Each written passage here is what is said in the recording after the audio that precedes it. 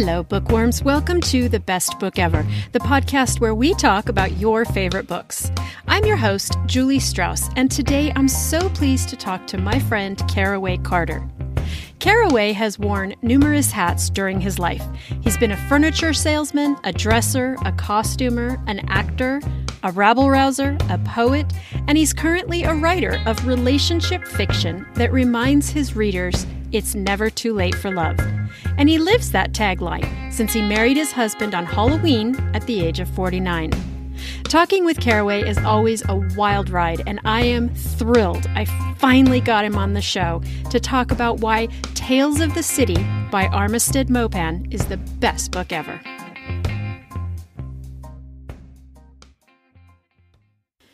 If you're looking for a way to help support this podcast that is free and takes up very little of your time, why not leave a review on whatever podcatcher you use? Through some sort of magical algorithm system that I don't fully understand, if a podcast has reviews, it's suggested to new listeners more often.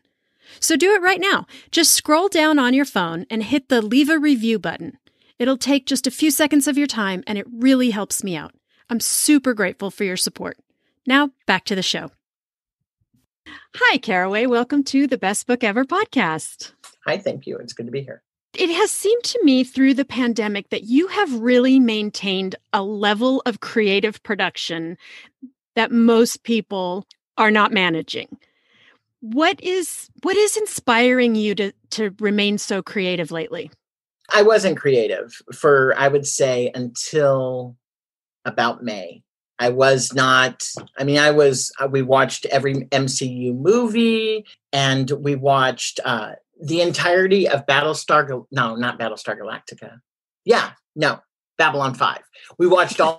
of Babylon 5. And some days we would just go out at noon and watch like seven episodes in a day because what else were you going to do? I mean, you couldn't go anywhere, right? So then we watched all of that. We watched the Machete Order of Star Wars Universe. I don't know. I know it's oh, weird. I never. I don't know. That. It's a very weird order, but it worked really, really well. Okay. So we watched all of those, and then um, and then we started watching home shows and baking shows. Um, the Great British Baking Show, and then we watched all of Not, uh, Nadiya's show, the first show, and then we watched all of Hometown, and then, yeah, so we started just watching a ton of TV, and we just were just watching TV. And then I got sick. And then um, Alexis Rourke um, said, You should write a short story for this anthology. And I said, uh, I don't, I don't, I'm not really writing anything. And she goes, Well, I think you should really write this. And I thought, well, it's probably, they're not going to pick it because it's a gay story. And it was called Prince of Hearts. Um, and it was, and it it fits into my uh, professions of love series. Do you think it's all that input i'm using rebecca um, becca syme language here but do you think it's all that input you had at the beginning of the pandemic? What do you think has been causing you to be so creative and productive where so many people are absolutely just stopped in their work lately? What i realize is the um, my adaptability. So I'm not working anymore. I'm focusing on my writing. Um, it lets me escape. It lets me um, finally do what I never had the chance to do because I would work for eight hours a day. Then I'd spend, I was actually out of the house like 10 to 12 hours a day because driving to work, working, driving home from work, right. traffic both ends. And then um, then I'd get home, I'd have to, we'd go out to dinner and then I'd have no time to write and then I'd go to bed and then do it all over again. So I only had Fridays and Saturdays to write really. Mm-hmm. Um, so when I got furloughed, I had I decided to I wrote something the next day. Well, I've been furloughed, so I don't know what I'm going to do, but I'm going to watch a lot of TV. Then I started noticing things and then I just slowly progressed and it picked up and I just found myself writing something every single day. Once it just started rolling, it's like every day I would wake up and say, Oh, I have to write something. And they varied. Sometimes they were super political, sometimes they were super um, stressed out. And so I actually have had tons of people say, oh my god i look forward to reading your shelter in place every day I, I my day isn't complete if i don't read your shelter in place um, and that has encouraged me to continue writing it too. Mm-hmm. so i think that once i found out that my short story got accepted into the anthology i had it's like i got a, a kick in the ass and i said okay they, they like this story. Hearing back from other people made me just more excited about writing more stuff and so it just it just snowballed and ideas just kept coming into my head and i i write them down now and um tell me about your reading life. What is it like and has it changed in pandemic times? It has. I actually i got on a huge Kresley Cole kick. Did you ever listen to those or read those? No. Are they good? listening to them. The guys accent for the majority of them is um, he's got like a Scottish brogue, and his voice is like butter. It's like mm-hmm. so sexy. And so like yeah, I listened to um like 15 of them. I was following um uh Fated Mates podcast. And so I would read it, I'd listen to it, and then they would talk about it the next week, and then we would then they would discuss. And so I went through that with them. So then I started listening to uh, Jess Michaels, who has good books. Lately, I've been reading a ton of uh, craft books. When you read craft books, do you also listen to those on audio, or do you? I did. Mm. One that really helped me a lot was 2K, 2 to 2K to 10K. So I was reading it and I was listening to it. Uh, mm.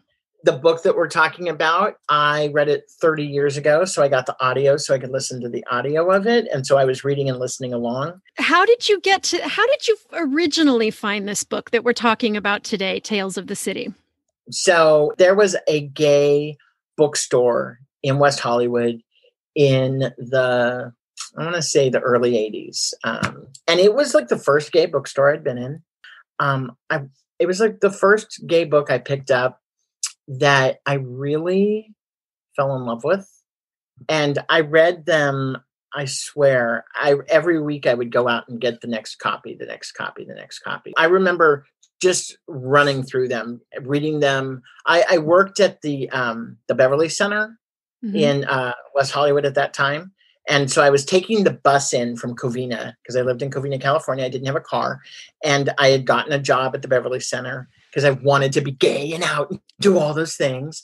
And so I um I went there and I got the book and I would read it on the bus to and from work. And um yeah, that's how I read through it. Um I just loved it. I wanted the I wanted that lifestyle and I never was that kind of person. I was I think there was a, a scene in the book where that's towards the end where um, uh, Michael says something about he's got a fat ass and uh, oh he's not gay and um, Brian says oh he has to be gay and he goes no he's got a fat ass uh, gays with fat asses don't go out and that's was me is this I was a fat guy who just didn't feel acceptable because in the 80s it was all about size and I was I've always been a large guy um, I did go through a period where I lost 100 pounds and I was super thin. I had more sex when I was fat. So I didn't stay thin very long. So, anyways, doesn't sound like a good payoff then. uh, yeah, it was. I was. It was great. I felt good. I looked good, but I, I didn't have. I was actually. My friend said you're an asshole. So I went. Yeah, because you were hungry all the time. I know. I know. So. So was the appeal of it on your first read through was it was it that you had not seen that idealized lifestyle in print before or was it did you really feel like it was that well written? I think what I liked about this is this has a layer of mystery in it, and it mm-hmm. has a layer of romance in it, and it has a layer of um, dirtiness and pot and just all this other stuff that is just so unique. Um, and it was like something that I had never read before. It was like he was talking to me, like I was really involved in these people's lives. And um, when I was doing research on the book, um, I found out that the book, the first book, Tales of the City, was actually a series of articles, which is why each of the chapters are so small because it was a serial that was released in, um, it was released first in the Marin paper, and then the San Francisco Chronicle picked it up. Oh, and then it was okay. just like every week he just posted something. And then he said that, um, that based on based on what people sent him he would change stories or he would change the story based around what other people sent. I feel like this book has been around forever and is um, really kind of part of culture, especially since it is also a very popular series. But if you were to describe this book, how would you summarize it for someone who had never read it? Um, I would say it's a slice of life in the 70s. How did you feel about it? Re- have you reread it at all since the first time you read it 30 years ago and then now? You, I did. You I uh, I read it to my husband, um, who is not up on pop culture and is younger than me and is autistic. So um, it took it was hard for him to grasp a lot of it because it's the chapters. It doesn't flow.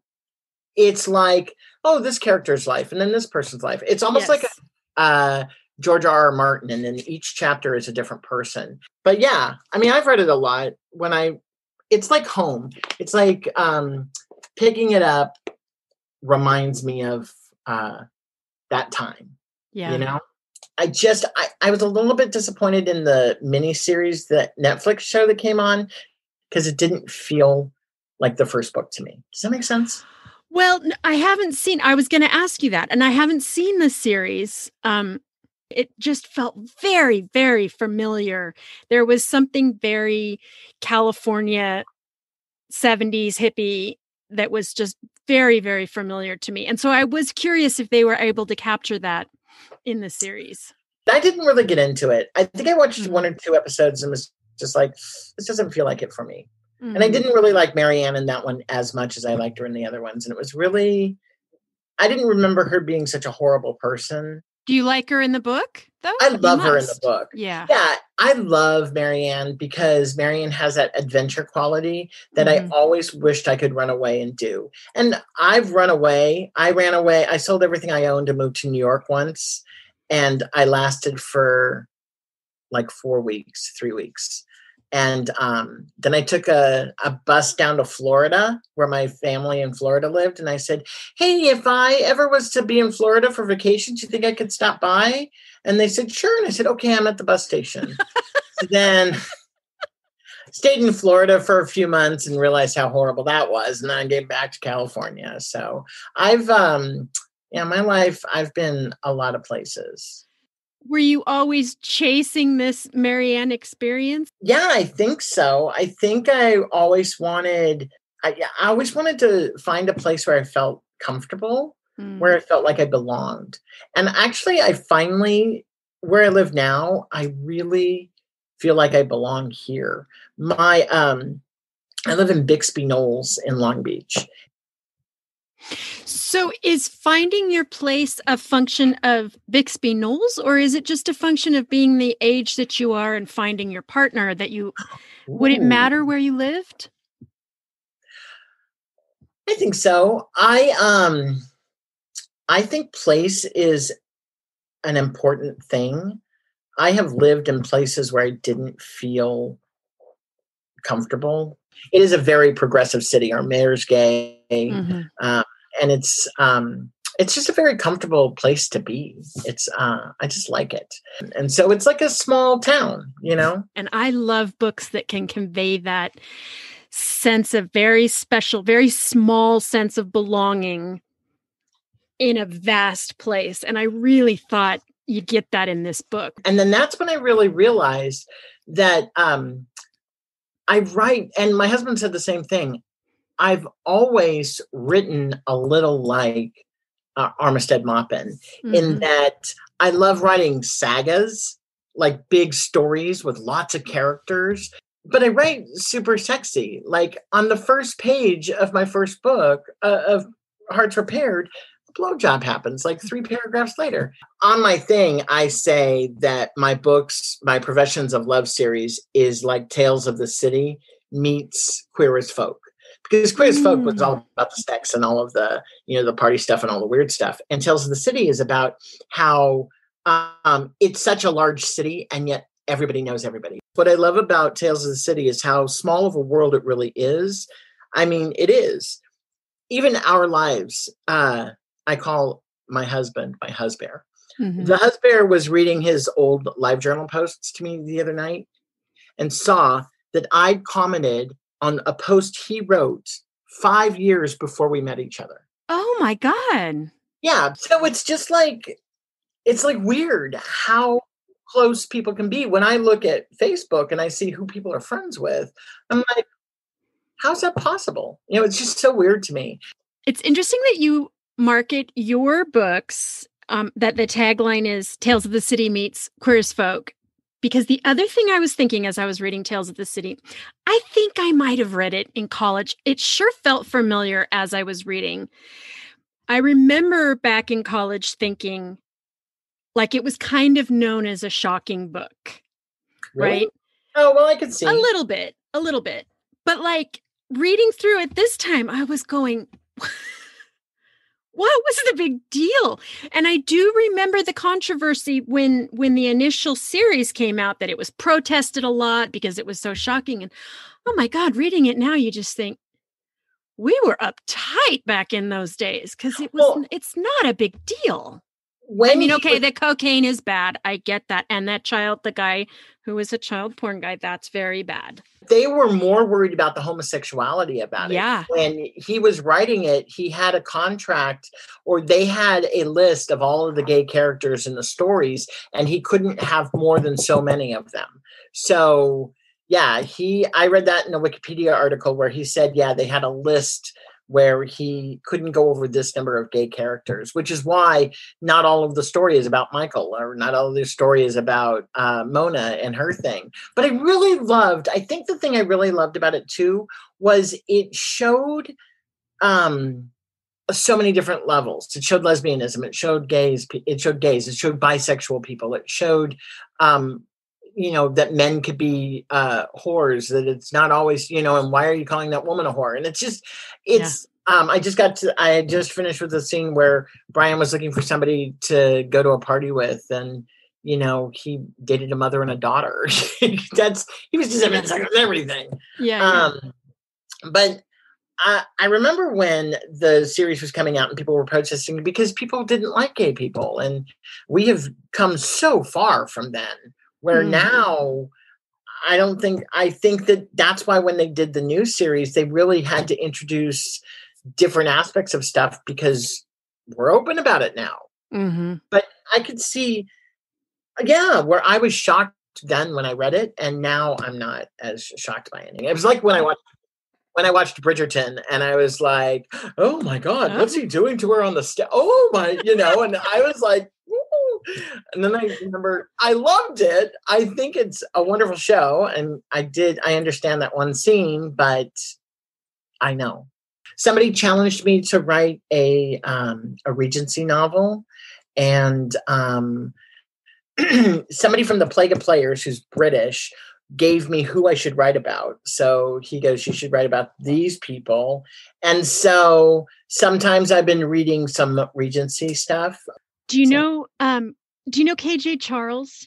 Have you read any? yes, I know people always suggest KJ Yeah. Charles to me. I um I follow KJ on uh, Twitter. And I'm super intrigued.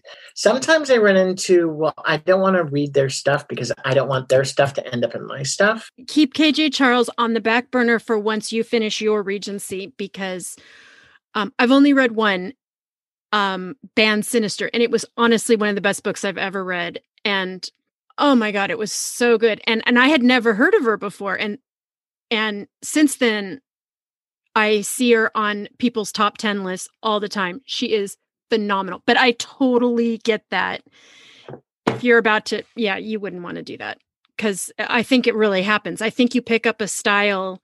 That's an exercise we used to do um, in writing classes when I was in college, where, you know, for one hour you were supposed to literally just type, look at a book of a book you like and type it word for word and then close that book and then write your own thing. And then you would have you would write in the style of that author. So it's a definite thing. I mean, I think I write a little like Armistead Maupin. Mm. Um, I think I write a little like John sanford um, who writes mysteries. Mm. Uh, I think I write a little like I my my four favorite authors are John Sanford, who writes the Prey novels. Uh, it's a mystery series. Um, Samuel R. Delany, uh, who writes science fiction. Um, I write a lot of my characters are a lot like Samuel R. Delany's characters. Um, they're lost people, basically. Um, Armistead Maupin. I love Armistead Maupin and uh, Laura Antoniou. And so I read a little bit like all of their stuff. Mm-hmm. Um, those are pretty much, I have like, uh, Samuel R. Delany was huge in the 60s. And so I have a lot of paperbacks that I went into used bookstores. So I have like three of the same book, but they all have different covers. And it's just mm. like I'm a mm. little bit obsessed. He's just a super impre- and then when I found out that Laura Antoniou knows Samuel R. Delany, that blew me away. Oh, so Samuel R. Delany I wrote this um this uh I don't know if I can talk about it, but I wrote this um You have wrote, said that so many times during I know. this conversation. That's who I am. I wrote this this uh Jewish this secret admirer Hanukkah book called The Eighth Night. And in the book, the um the main character is reading this book called Dhalgren, which is by Samuel R. Delany. And um, so I wanted to, the thing that's super interesting about uh, Dhalgren is that the first sentence of the first chapter is the last sentence of the is the end of the sentence of the last chapter so the last line of the last chapter of the book is the beginning of oh i love first. that yes and so um he says uh oh you're you're reading dhalgren and he goes yeah i am and and the guy goes oh i love that book to wound the autumnal city and then i have the uh, the guy who's reading the book say the last sentence of the of the book right the beginning and he goes well you know that's the end of the beginning of this and he goes i know that's what's so cool about it. So anyways that was like 13 words for that whole sentence right? Mm-hmm. and so i contacted samuel r. Delany and i said i really really want to put this sentence in this book because I think it'll really connect the two guys. It'll it's their meet cute. And uh, we talked on the phone. He called me and we talked about it. And he said, "Yeah, I'm I'm fine with you doing that." So the only people who would really grok it or who would get it are science fiction readers who know who Samuel R. Delany is. The way it reads, it could just be something I made up. Mm-hmm. But if you read the books, then it's something cool but no one's ever picked up on it. No one's told me anything about it, and I don't. There's nowhere, nowhere on the advertising of the book does it say anything about Samuel R. Delany or about Dhalgren. I love stories like that where established authors are super generous. I I love hearing that. I put him in the dedication to Samuel Delany, whose writing has taken me places I wish um, existed, and whose words helped me my main characters find their connection. Oh, I love it. That makes me so happy. Um, will you tell my listeners all the places where they can find you? Sure. Um, I'm at carawaycarter.com. Um, and everything, um, I, if you want to uh, see me on Facebook, I'm at Facebook, Caraway Carter. Um, Instagram is Instagram slash Caraway Carter. Twitter is Caraway Carter at Caraway Carter. I got really lucky with the name. Yeah. Uh, you can email me at caraway at carawaycarter.com.